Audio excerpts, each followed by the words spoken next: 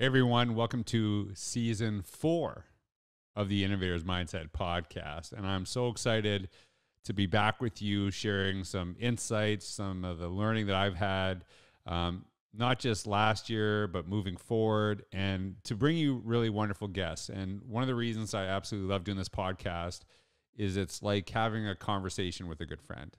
And having more of these talks, digging into stuff and really trying to dive deep. And that's something I've been really focusing on. How do we not only dive deep into ourselves, but really learn about the experiences of others and take this time to use technology to really enhance our connection, to have a better understanding of other people and not just use it to you know have the little surface level conversations and it's one of the reasons i really love talking to dr mary Hemphill. she's been on the podcast before I thought she'd be a perfect way um, to start the 2023 season. And I was thinking about our conversation after, and I was reminded of this quote that if you don't risk anything, you risk even more from Erica Jong. And as you look into this year, one of the questions I always ask is, what will I create? What will I, you know, do with the learning I have? Because a lot of times, we we learn some very valuable lessons but we don't implement. And this is the whole premise about the innovators mindset. It's not just about gathering knowledge it's actually doing something with the information we take. So i hope that not only do you have a opportunity to learn from mary hemphill but you take something that she sh- shares some of the ideas that we discussed in this podcast and actually create something with it and maybe it starts with a an Instagram post or, a, or you know uh, maybe a YouTube video, maybe a blog post, maybe it's an idea that you've been sitting on and you decided you know you can jump into because I think we have this opportunity to consume really amazing information, but what we do with it is what really matters. And I hope that you get this from the conversation, but you think about this as you move into 2023. So, welcome back to not only another episode, but another season of the Innovators Mindset podcast.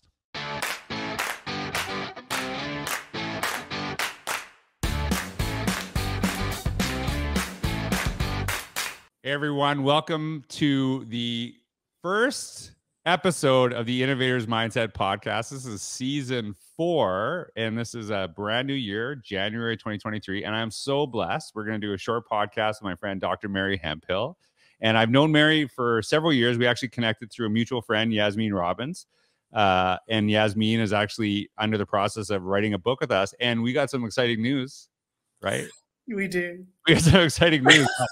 before we before we get into that, um, Mary, could you just introduce yourself to everybody? Tell us a little bit about who you are and what you do today. Absolutely. First of all, it is a pleasure to be here. Happy 2023, George and the entire community. I am so excited. My name is Dr. Mary Hemphill. I am the CEO and founder of the Limitless Lady LLC, the author of the One Minute Meeting. I'm a speaker as well as a leadership coach and consultant. Um, I'm telling you, George, this this past couple of years, I have been just so grateful, leaning into my experiences as a former teacher, administrator, and state director to help our leaders just navigate what is the very beginning stages of this post pandemic society and helping them innovate. And so I just couldn't be more excited to kick off the year with you. Yeah, and you do you do some like amazing work, and I love your your kind of mantra of the idea of limitless. And that's one of the reasons I wanted to have you kind of start the year off because you know I'm I you know this about me. I'm always trying to push myself to grow. Yes. and to get better. And you know, some days I, I struggle with it, and I think a lot of times people have this perception that um, when you kind of have this it's only like ups like there's there's only ups through this process yes. right yes. and so so when as people are looking into 2023 um, maybe maybe on a personal let's start with the personal element of this too like w- how can you kind of like how do you embrace that that mentality of you know being limitless like what does that look like from a, a personal aspect Absolutely. And I and I love sharing this this story of how we got to limitless because I think it's exactly what people have been going through for the past 3 years and really now that COVID has put a magnifying glass on our minds. Mm-hmm. When we think about limitless mindset, when we think about limitless lifestyle or limitless leadership, what we're saying is that the old mental model, the old sound bites, the old mm-hmm. things that people, that society, that the media, and that the world try to tell me about what is inside me, whether it's my gift, whether it's my talent, whether it's my potential, or whether it's just simply an idea that's just crazy enough to work. Mm-hmm. When you are told you're too old, when you are told you are too young, when you are told you're not in the right industry, or that you don't have the right background, or that you didn't go to the right school, or you don't have the right mm-hmm. We are literally stopping people from optimizing their limitless potential in our schools, in our classrooms, in our boardrooms, and in our living rooms every single day. So, what limitless mindset says is that I have to really come face to face with all of the things I've been told that put a cap on me.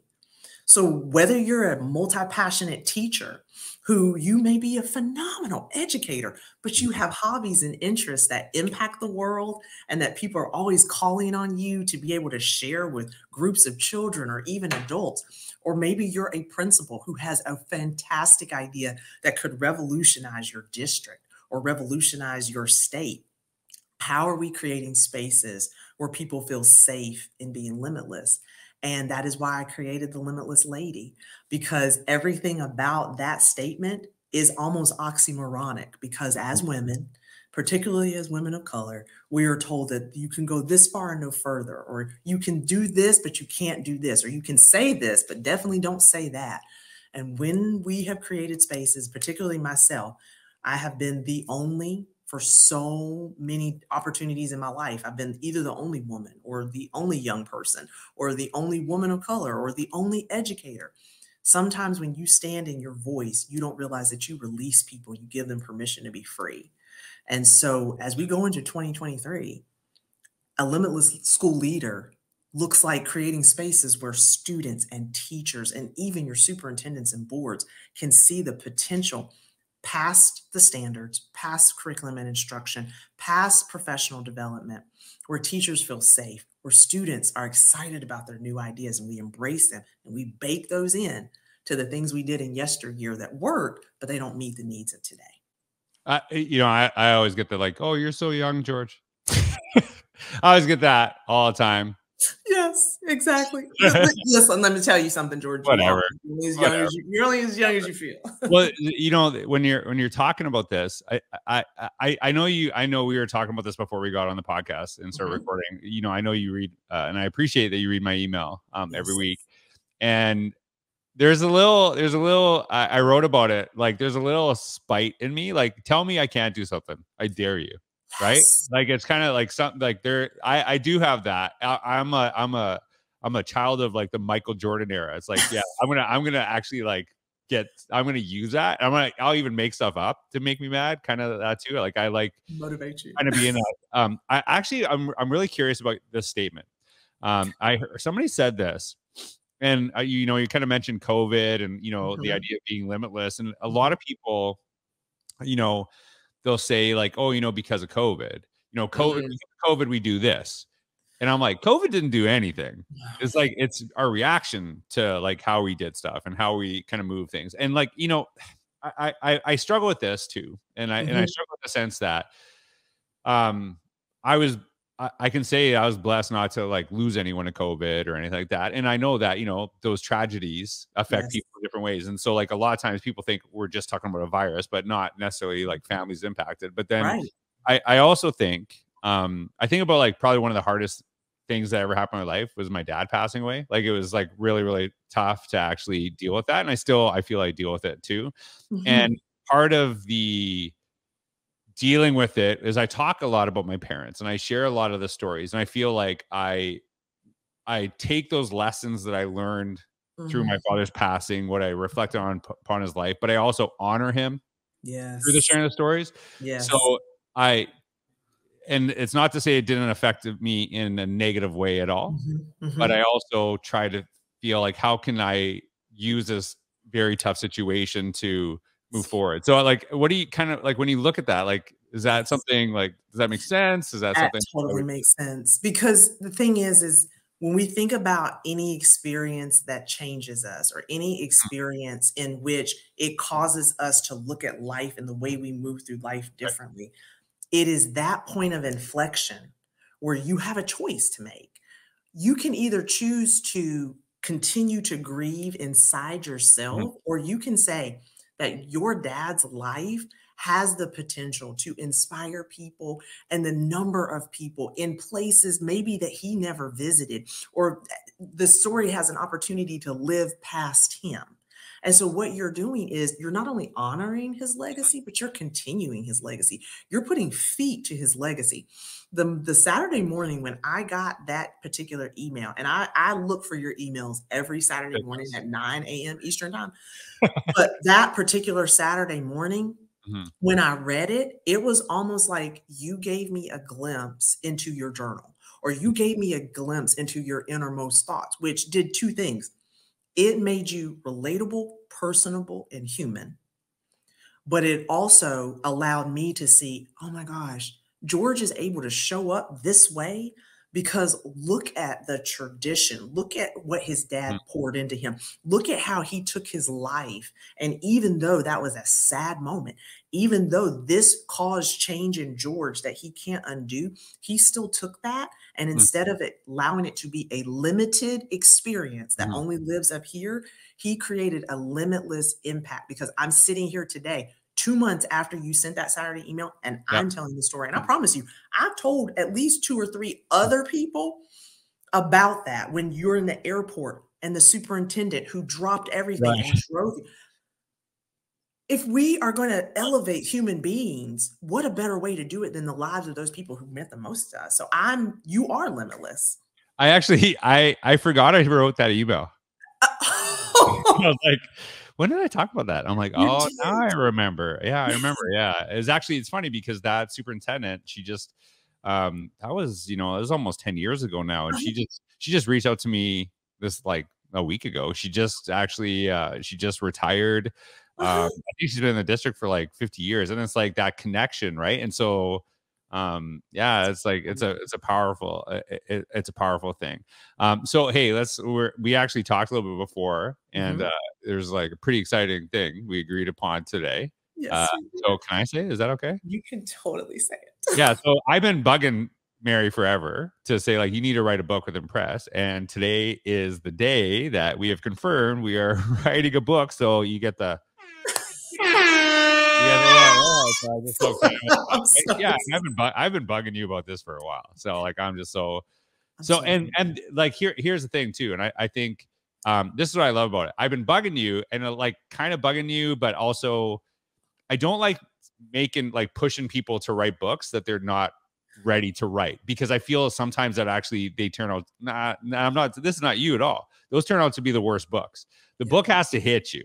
Mm-hmm right? Yes. And so it's like, you know, like uh, it's kind of like I'm bugging you, but I'm just like, make sure when you're ready. I'm just I'm right here. And today you're like, hey, and you're like, I'm, I would like to write a book. I'm like, are you gonna write with us? And you're like, yeah, absolutely, absolutely. And and the right. thing is, is like two years ago, and I tell people this all the time, particularly like when I coach or speak. Mm. I always say, you're everybody is pregnant with the idea or the thing or the gift or the talent. That's when they give birth to it, it's going to change the world. But mm. I appreciate one that you continue to be consistent with me, that you honored the gestation period because two years ago it wouldn't be the same book, oh, right? Oh, yeah.